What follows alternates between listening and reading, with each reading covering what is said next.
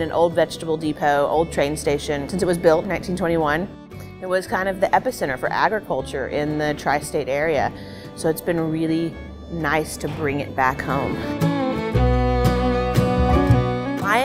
Chef and proprietor of Freight House here in Paducah, Kentucky. We're serving new Southern cuisine, so we are taking traditional flavors, um, really old recipes, and reinventing them. We were always in the kitchen growing up. The other grandkids wanted to go outside and play. I wanted to stay in and learn how to pickle things and jar things and make apple butter. And this is how we've cooked for years. This is how my grandparents cooked. You know, they don't teach you anything about running a restaurant in school. So when I first started working with the small business development, and I didn't have a building yet, lots of dish washing dishes and shucking peas and you know and and burning things and working my way from the bottom all the way up to the very top.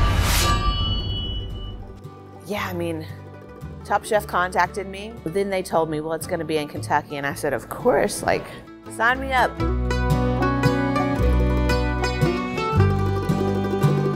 You'll see it's a completely open kitchen. We hide nothing, so we want people to see what we're cooking and what we're doing to the ingredients. It all starts on farm somewhere. You know, we're sourcing as much as we can from farms right here in Kentucky every day. You feel good whenever you know where your money's going, and it's going in the people of this community.